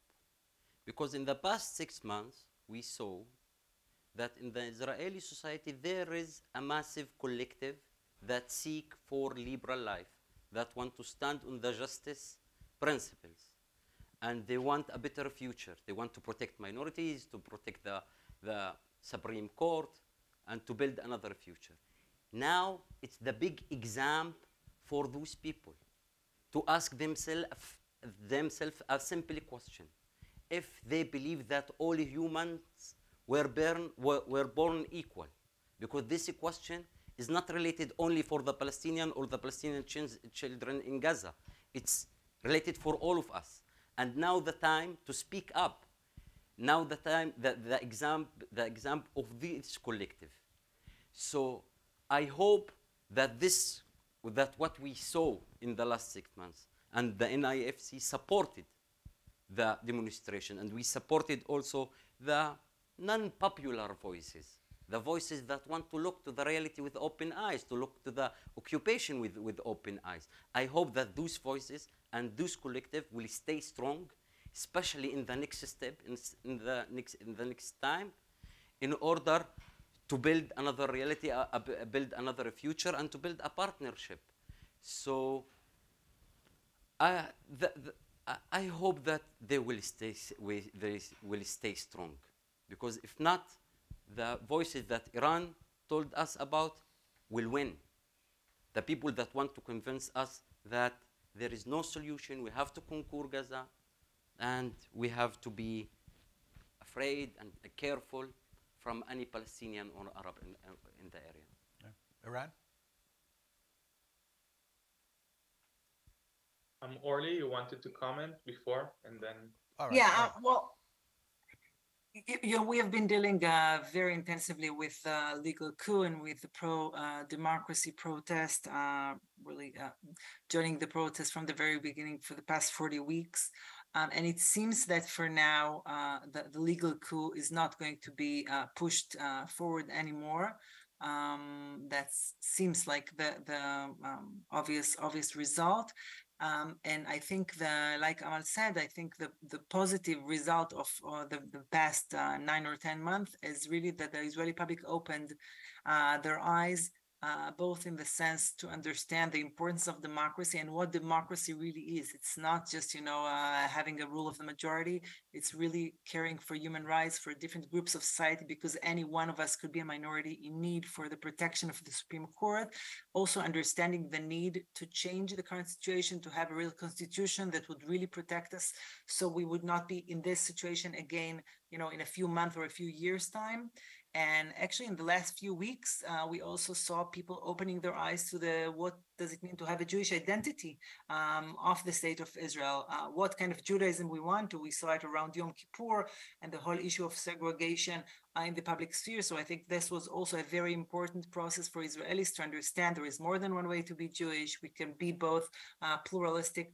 uh, and Jewish at the same time. And th- those have been positive results that uh, I hope would bring a positive change in uh, bringing a real constitution that would safeguard uh, our rights more than it has uh, done today. I, I don't believe that um, the current government would be able to uh, push forward with a legal coup and that's of course a very positive result. Yes. Eran? So first of all, we need to recognize that we can't overstate the gravity of the crisis right now. What happened last Saturday and what is still happening, uh, the comparisons for were for like to 9/11 and to Pearl Harbor. This is worst in many respects. Last Saturday, it was the, mo- the the the day where the highest number of Jews were murdered in one day since the Holocaust. The collective trauma of the Jewish people in general, but also for the, the Jewish citizens of Israel, the collective trauma, the our collective psyche is grounded in fear of the memories of pogroms and the Holocaust, but also the surprise of the 73 war, the Yom Kippur War. And just uh, last May, uh, Israel celebrated its 75th uh, um, Independence Day. And there was a survey about what was the worst day, what was the worst crisis. And, and it was uh, neck to neck the assassination of Yitzhak Rabin and the, the Yom Kippur War. And when you take the collective trauma of the Holocaust and you take the collective trauma and the collective memory of betrayal uh, between the citizens and the government of the 1973 war, and you see the the the the footage of Holocaust survivors being taken hostage into Gaza, this is something that is that is breaking us. So I think the judicial overhaul is dead. I think that a lot of things that we thought were true or important are no longer relevant. I think that the leadership, the parties, a lot of th- uh, a lot of things broke down last Saturday. But and I will pivot into a more optimistic uh, a conclusion because I, I look I'm looking forward to to the questions. After 1973, the government changed and there was an historic peace treaty with Egypt. It was the first time Israel turned an enemy into an ally. And if all of us will walk would, would have walked in a time machine and go back to 1975, only two years after the 1973 Yom Kippur War, and we would ask someone in the streets of Tel Aviv or Haifa or Jerusalem, what do you think would be our relationship with Egypt 10 years from now, meaning 1985? We would hear people say, there is no chance of peace. We don't have a partner to talk. We just fought with them in 1948, in 1956, in 1967, and just 1973, two years ago. In average, every eight years, the entire adult population of Israel dropped everything they were doing. They wore uniform, they took guns, and they went and fought Egyptians. And then three years later, uh, Sadat is speaking in the Knesset. One year later, we have a peace treaty. So reality has a tendency to surprise us, but we need to be very clear about the future that we want because we can create the narratives, we can support the voices. We have a responsibility and commitment to help write the new story of Israel out of this pain, out of this broken uh, uh, crisis that we have right now. Um, thank you, Eran.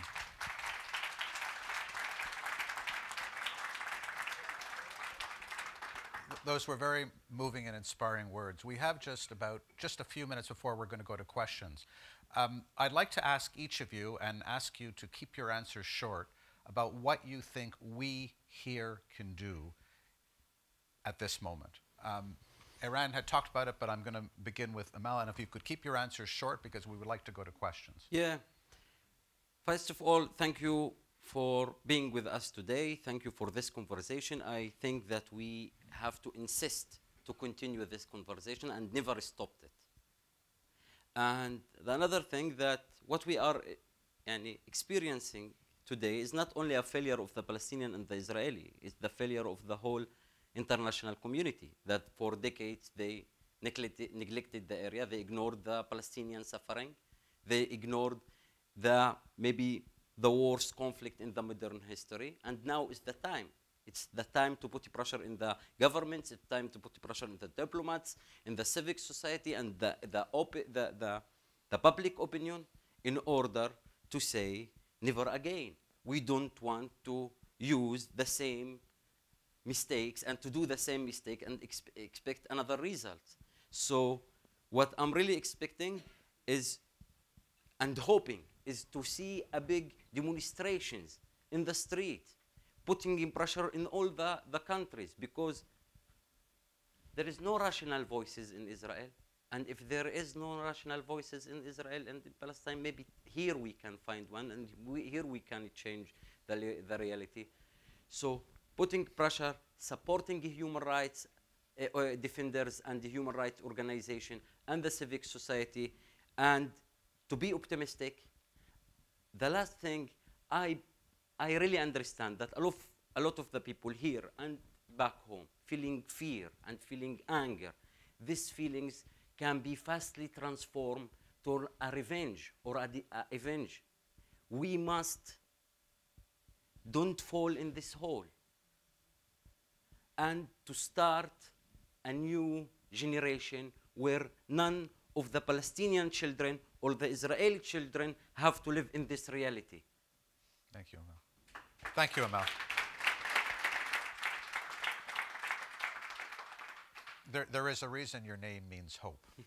um, Orly, uh, uh, if you don't mind, and, and Mal, uh, uh, Eran, a quick uh, uh, analysis of what we can do.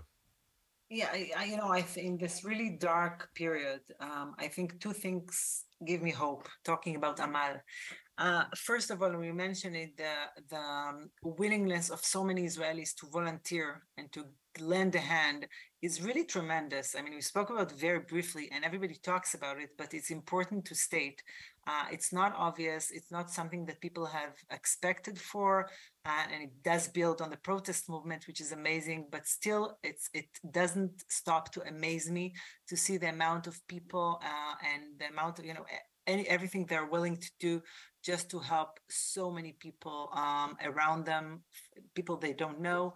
Um, just to give a hand. So that's one thing, really a ray of light uh, in this darkness.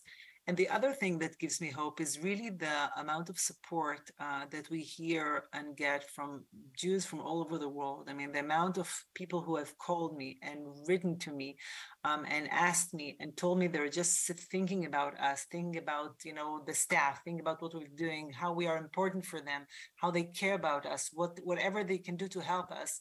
Um, and just even this moral support is so important in this really abyss that we are in. Uh, and it's really such a sense of despair that all of those, um, uh, you know, just uh, saying hi and, and saying we are here for you is tremendously important. And the other thing is, of course, supporting, supporting uh, the people on the ground, supporting human rights organizations, supporting the civil society that is doing so much and is will, will continue to do so much uh, with the help of really people um, like you, like NIF, and from people from all over the world is tremendously important. Um, and I want to echo Eran in saying that we are in a very, very, very difficult point, but you know we, we will be able to overcome it uh, together. We need to uh, look clearly ahead um, and to make sure we're going to continue to fight for justice and equality for everyone uh, here in the region. And I think out of respect for the audience, I think uh, let's go to the questions. Okay. I'll take a time after to Okay. do some call to action. All right. Um, where's Ben? Who is? Uh, oh, you're passing the microphone around. Um, okay, go ahead. I think the, you need the microphone though, so that has to come to you before the question is asked. But I will say, as someone on Zoom, we need to also respect the people on Zoom asking questions. My name is Edna Magder. I've been a member of uh, NIF Canada from the, from the beginning, and we've been donors. So you can, uh, at least you know where I come from. What has been troubling, and my question is to you, Amal. Uh, I've been advocating for what NIF stands for for many years, spent the rest of this week doing that. But I'm also have read and studied very hard the manifest of Hamas. And I'm not hopeful. I am very, very, I despair uh, of trying to have Hamas as a partner. I I read, I read it, and I'm sure you have too. I don't know how many people in the audience have read that, but I recommend that you read it. This is not a partner. This they say very clearly. We are out to kill every Israeli we can. Please ad- talk to me about that. How do we work this out? So, I, I, we're going to take. Uh, uh, my instructions are to take multiple questions, if you don't mind, and we'll see. We'll get the answers. So, uh, other questions in the room? here, This gentleman over there, perhaps. and here.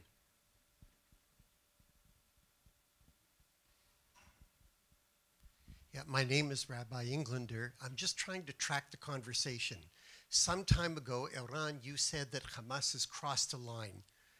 Then the conversation almost went immediately to the policies of the Israeli government and, and leadership and what they're doing wrong. Then we moved from there to a, a speculation as to what long term solutions would be. So, my question, Eran, is to get back to your first point in the here and now today, what do each of you advise in terms of dealing with Hamas's invasion? Okay. All right, one more question, perhaps person in the back there. I, I know, but there are many questioners. Um, this also might be for, uh, for Amal. Uh, being a realist, we know Israel is moving in. They will not stop until they get underground and excavate and get every tunnel out of there. And if it's anything like what we've seen in Vietnam, it was three tunnels, one below the other, so it's going deep. Um, and Israel would simply raze Gaza. There wouldn't be nothing left. Uh, there are refugees now already, hopefully, south of Gaza, the Gaza River, and uh, hopefully they're safe. Can they stay there for years and years and years? Can you imagine this being a refugee camp for so many years? I can't. It will take forever, for many, many years, more than five, maybe more than ten, to rebuild Gaza. How do you see this all unfolding Okay. for your people? Okay, so Amal, if you don't mind, uh, uh, uh, if would you each maybe perhaps answer one of those? Some, at least one, was directed at you. Um, if you don't mind answering whichever one you'd like, and you are speaking for yourself today, and you're Yeah, uh, let me start with this that I'm the, the spoken man of Hamas. I'm not the spoken ma- man of the Palestinian nation in the whole world. I'm speaking of myself. I don't have any war experience or military experience. My experience is in building a shared society, in asking uh, the hard questions. My experience is in destroying the borders and between the two societies that were built over and over over decades. And I'm here with you in order not to try to understand what happens. I don't think this question is important. I'm here to talk about what will happen and not and also which price we we which which price we will pay for better better reality is we really really want 2 million people in the biggest open air prison in the world to be ethnically clean Hamas is not a partner.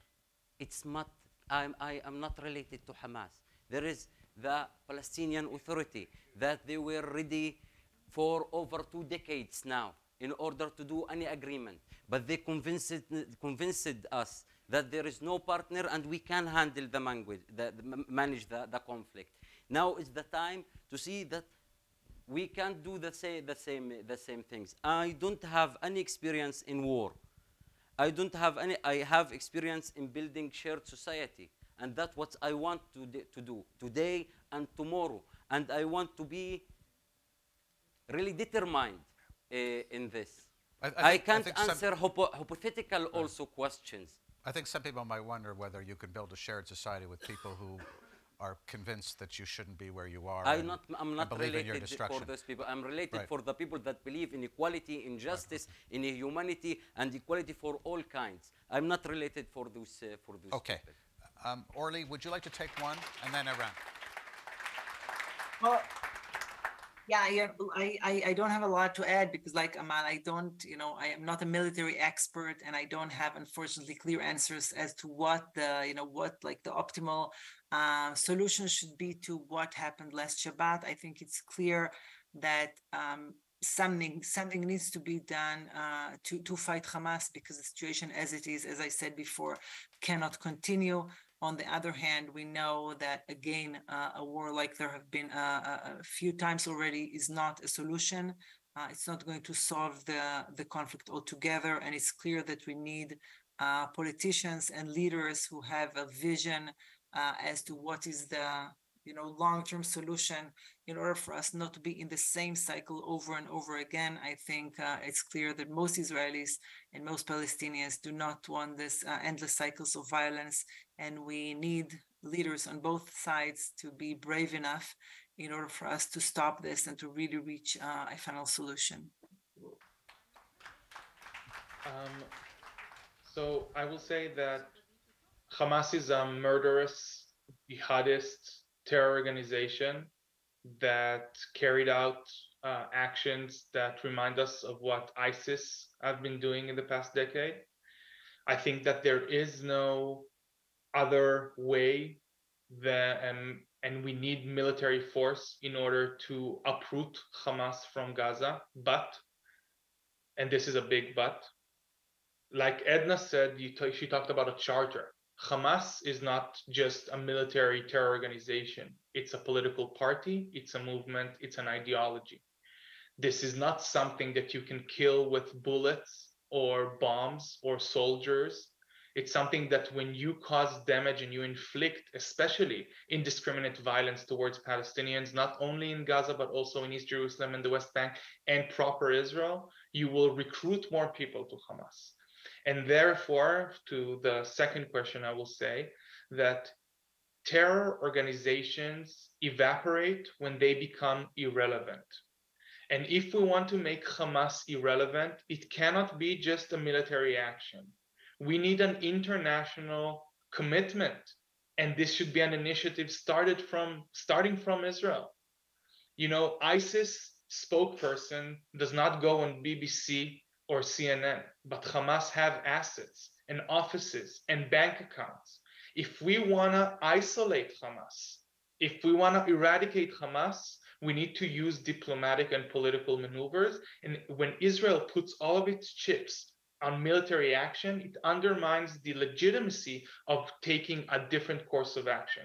So we need a collective action, an international movement, and we need to like the example, and also this is to Edna, and this is also to the third question. We need to look at history. Look at what happened in Rwanda with the genocide there, and what happened in South Africa when apartheid fell, and what happened in Northern Ireland. All of these examples are not perfect uh, examples, but people through the violence couldn't have imagined a different future but we had a different future.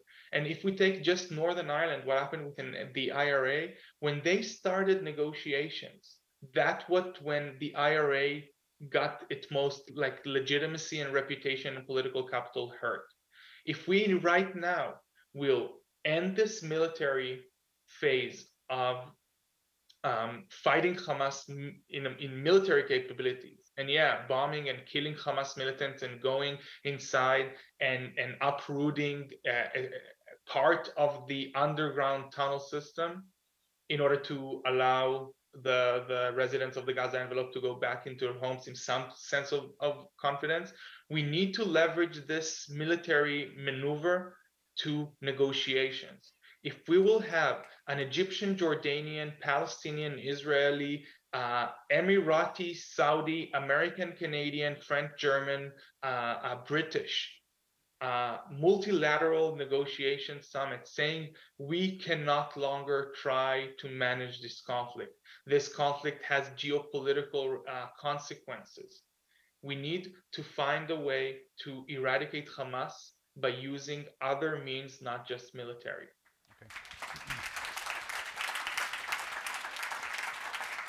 Um, I, would like to give the opportunity to, to those watching online to ask questions. I don't know how they're going to come to us or.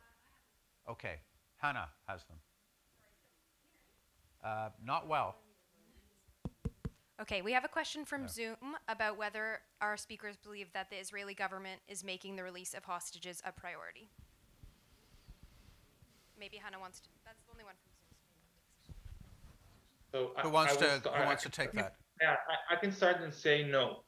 Uh, the Israeli government from the first couple of hours have said, uh, uh, Smotrich, the, the, Secretary of Treasury, said that the hostages should not be a priority or taken into consideration. Some say that talking about the hostages uh, only delay uh, a deal because it raises the price. Uh, but I don't trust the current Israeli government to prioritize the lives of the Israelis uh, um, taken hostage. Uh, right now, what we need are messages of de escalation and a call for an immediate uh, prisoner swap, humanitarian corridor, uh, some kind of negotiations, even not like even indirectly, but there should be steps taken by uh, the Jewish community uh, um, worldwide, and especially by governments who have hostages in Gaza, to hold the Israeli government accountable for um, violation of international humanitarian law and endangering the lives and well-being of Canadian citizens being held hostage right now. Yeah, I, I want to add just just re- remind us that uh, the the president, the U.S. president, uh, met the families of the hostages before Netanyahu met them, which is just unbelievable. So he spoke with them for an hour and a half. Um, and Netanyahu only today uh, started to meet uh, a few of the families, and, and that really shows that it, it seems that it's definitely not a top priority for the Israeli government. Um, and I agree that um, governments, uh, Canadian governments, the U.S. government, and others uh, should uh, put pressure into first first thing uh, releasing the hostages. I think this is something that should not be debated at all. Uh, just thinking about those uh, uh, babies and, and, and women and children and elderly really um, is unbearable. So it's clear, um, and I think there is sort of garnering more and more people here in Israel who demand uh, this be done as the first first step. Okay. Uh, another question online. So, Hannah, any other? Okay, we'll take one from the room. Okay, the woman in the corner there. Oh.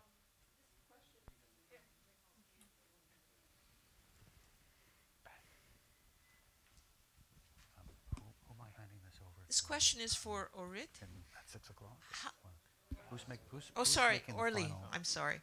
Um, how long do you think it think will take before this this Israeli government, this coalition government, is removed?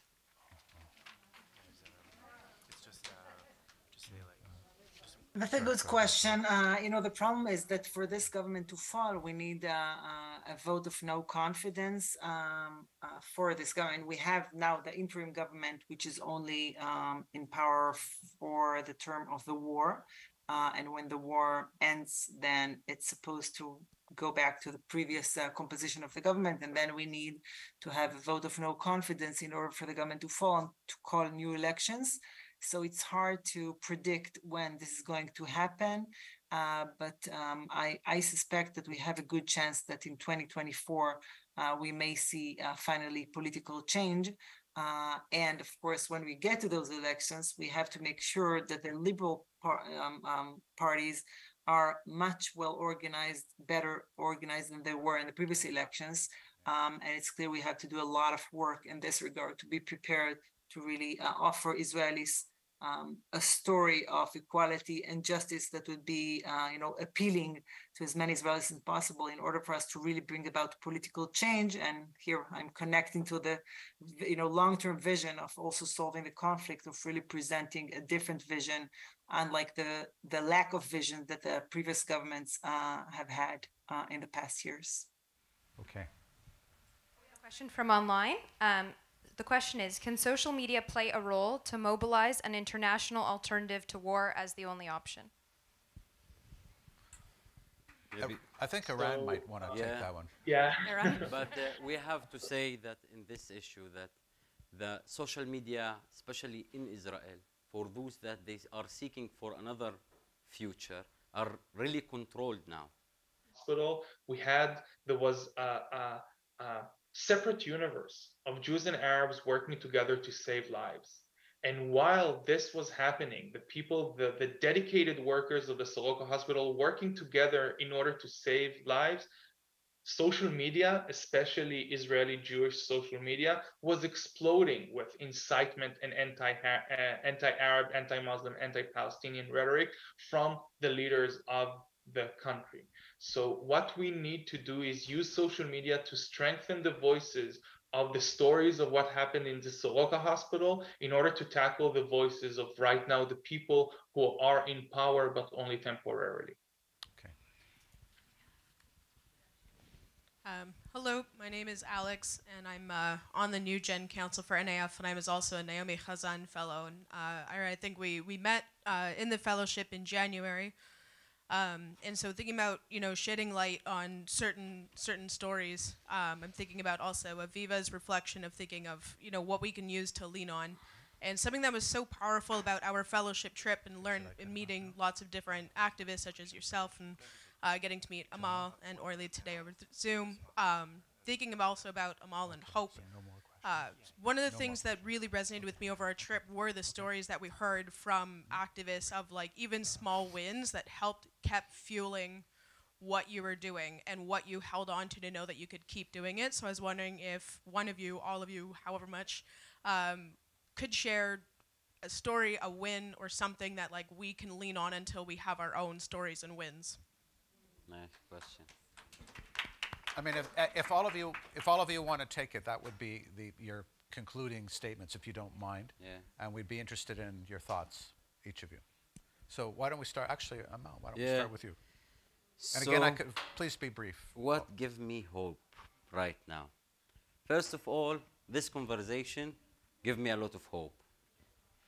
After that, I then the first day I arrived here, I got a tons of messages from my partners and my friends, both Israelis and Palestinians, and also from the Arab world, that asking what's what's happening with you? Are you safe? Are your family safe? Even my friends that went to the military to fight, they remember to send me a, a, a, send me a message that keep safe. Even they believe and know that we are not accepting the same thing. Something that give me hope is that two decade, decades ago we didn't have all this, this infrastructures and organization and players in the field that they keep the resilience of the people we learned a lot and we implement we are implementing what we were what we learned so there is no escalation now in the mixed city because what we learned and what we did and what we, we continue to do and this has given me a lot of hope. And the last thing my biggest fear was that the palestinian society in israel will pay a huge price.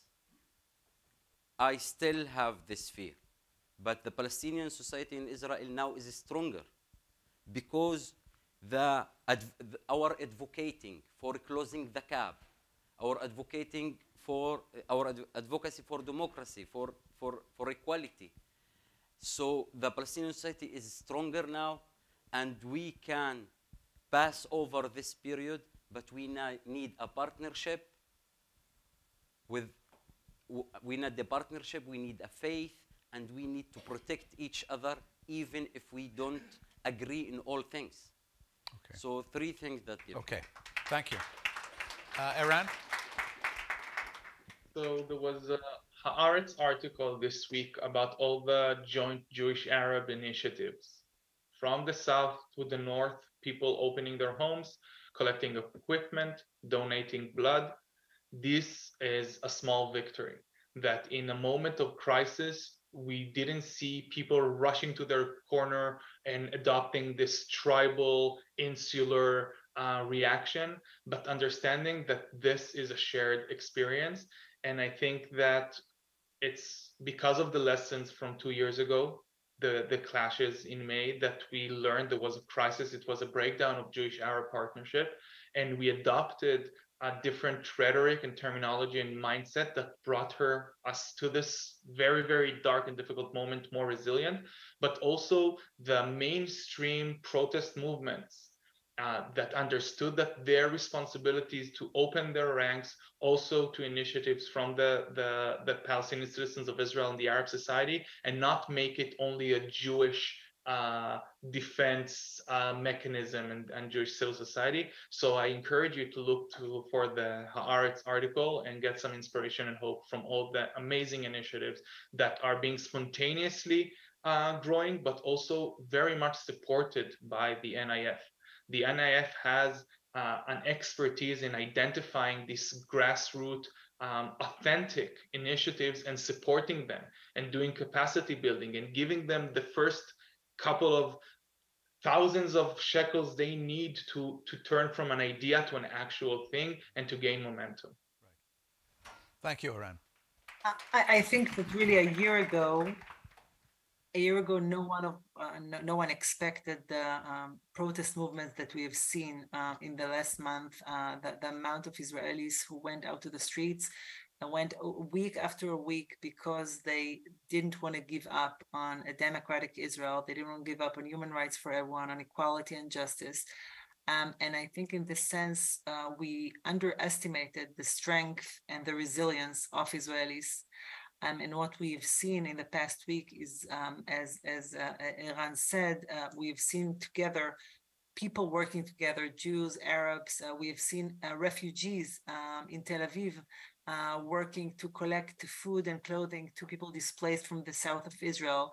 And this is also, I think, a very um, a pleasant surprise um, that we did not expect. And um, I think that um, as I said, I think the NIF really uh, put the seeds uh, to a more uh, just Israel. And then we are now sowing those seeds, and we need to believe that we have the strength and resilience to continue and to carry on, even in this very, very, very, very difficult time, uh, to carry on toward a brighter future. So thank you, everyone, for, for your support over the years. So that brings um, a close to the panel. I want to thank you all for your courage and your resiliency and your hope. Uh, rather, in a dark, dark hour, rather than cursing the darkness, you are lighting a candle. So thank you on behalf of everybody here.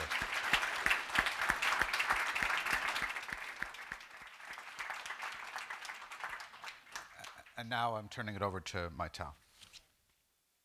Thank you. Thanks, Andrew. Uh, so first, I do want to thank uh, Andrew for moderating today. Thank you so much. It was wonderful. I want to thank Orly and Eran who joined us on Zoom. I know it's very late for you at a time where things are obviously, uh, anxiety and tensions are very high. We thank you. We admire your strength and your bravery. Amal, to you, I want to say shukran nak. Thank you so much for not only representing yourself so movingly, but for being honest, authentic, vulnerable, and speaking truth to power. We are proud to stand with you, your family, and your people. I feel like they asked me to speak because I would not cry, but uh, you're wrong, I'm crying. um, uh, in these times when a cause for celebration feels so far, uh, I, we do want to celebrate something, which is your defiance. Uh, I will close the event with you in a moment, but first I just want to say a few things. I want to first say thank you to our co-sponsors, Arts of Canada, JSpace Canada, Canadian Friends of Pri Snell, we're proud to represent a resilient part of Canadian Jewry together. As progressive Jews who care for both Jews and Arabs, these times are when we feel between a rock and a hard place.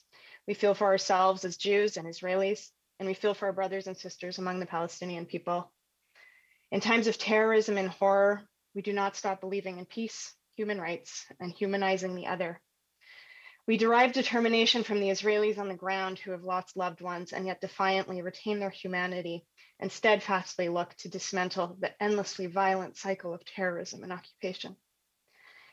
Um, I myself am a dual Canadian Israeli citizen, and among my peer group in the diaspora, I have seen so many Jews disconnect from Israel, oftentimes from the Jewish community entirely. And there's a lot of reasons for this, and many of them I understand, many of them I understand very personally. Um, but please, I, I want to ask you all today, please don't give up on us. Don't give up on these incredible speakers. Don't give up on the people of New Israel Fund of Canada and around the world and the hard work that they're doing. We still believe that Israel has within it the strength needed to secure a true democracy and equality for all who call it home. And if you believe this too, then here's how we can help. The New Israel Fund in Canada and around the world has joined the global calls to release the hostages we want to first thank Prime Minister Justin Trudeau, Foreign Affairs Minister Melanie Joly. We thank your government's actions for acting swiftly to do so, and we urge you to do more and keep bringing home the hostages safely as your top priority. And to each of you here today, you heard our speaker speak of this a little bit earlier. We also have a role to play in this crisis. One of our uh, co-sponsors on this event, our partner JSpace Canada, has a petition right now that is going straight to Foreign Affairs Minister Melanie Joly. If you go to jspacecanada.ca, you can add your name to that petition to encourage the government to keep bringing home the hostages, our top priority. And I also encourage you to join the Facebook page about Vivian Silver, who is believed to be held hostage in Gaza as a Canadian uh, peace builder in Israel. We are also urgently raising funding for our emergency safety net, supporting the kind of work that you've heard today from Orly and Amal in Eran. You can make a donation online at nifcan.org slash crisis. Tell your friends that they too can support the most vulnerable in Israel as well as joint Jewish Arab solidarity by giving to the New Israel Fund of Canada. The idea of our community is very simple. It's that people like you and me in the diaspora can partner with Israelis who share our values. And on that note, for our guests in Toronto, uh, I do want to share that immediately after this event, there is a group of Jewish activists and community members who have, who have organized a Shiva to grieve together at 6.30 p.m. That's going to be happening at Bloor and Spadina. We do encourage you to join them. Um, for our closing reflection, Amal and I want to share with you the words of two poets important to him and to, to us both, Mahmoud Darwish and Chaim Nachman Bialik. Um, Amal, I'll turn it over to you to start. I choose these words for the maybe the national poets for the, the both people. For the Palestinian, Mahmoud Darwish has written the Declaration of Independence of Palestine, and he's the national poet. And also Nachman Bialik, he rebuilt or re-established the Hebrew language. So I will start with Mahmoud Darwish. وأنت تعد فطورك فكر بغيرك لا تنسى قوت الحمام وأنت تخوض حروبك فكر بغيرك لا تنسى من يطلبون السلام وأنت تسدد فاتورة الماء فكر بغيرك من يرضعون الغمام وانت تعود الى البيت بيتك فكر بغيرك لا تنسى شعب الخيام When you prepare your breakfast, think upon others. Do not forget to feed the pigeons When you engage in your wars, think upon others. Do not forget those who demand peace. As you pay your water bill, think upon others who seek sustenance from the clouds, not atop. And when you return home to your house, think upon others, such as those who live in tents.